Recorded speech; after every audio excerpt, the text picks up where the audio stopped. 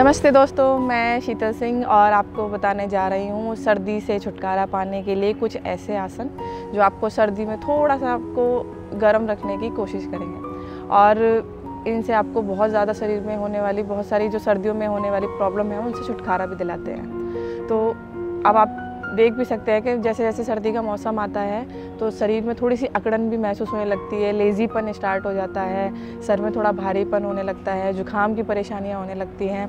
तो इन परेशानियों को दूर करने के लिए आसन, योग में बहुत सारे ऐसे आसन हैं जिसको करने से हम अपनी बॉडी में गर्मी भी ला सकते हैं और बहुत सारी बीमारियों से छुटकारा भी पा सकते हैं। तो चलिए आइए हम करते हैं पहला एक ऐसा आसन जिसका नाम है सर्वांगशम सर्वांगसम किसी भी आसन पर या फिर किसी भी योगा मैट, बहुत तरह की मैट आती हैं या आप चादर के ऊपर भी आराम से लेट कर कर सकते हैं। इस आसन में सबसे पहले हम पीठ के बल बिल्कुल सीधा लेट जाएँगे।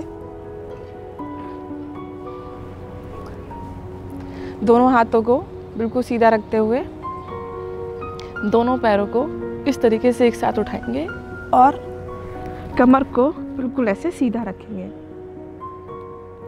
कम से कम ये कि आप इस पोजीशन में कम से कम दो मिनट रुक सकते हैं। और इस पोजीशन में आप देखेंगे हार्ट की ब्लॉक ब्लॉकेज वगैरह खोलने के लिए या फिर आपकी थायराइड की जो ग्लैंड्स होती हैं, उनको एक्टिव करने के लिए ये आसन सबसे अच्छा आसन है।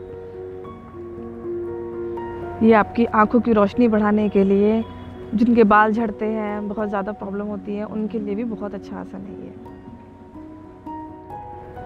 दो से पाँच मिनट तक आप इसको क्रिया को कीजिए जो लोग शीर्षासन नहीं कर पाते हैं, इस आसन को वो लोग ज़रूर करें, क्योंकि ये आपको शीर्षासन के जितने भी लाभ होते हैं, बिल्कुल उसी के बराबर आपको लाभ पहुंचाता है।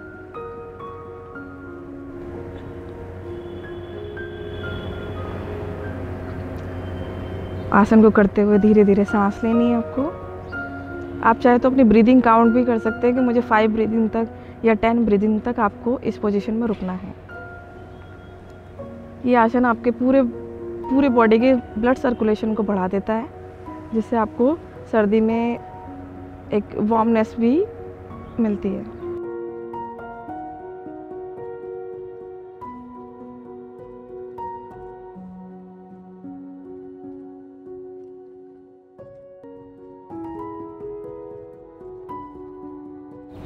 फिर धीरे धीरे अपनी पुरानी पोजीशन में आ जाएँगे।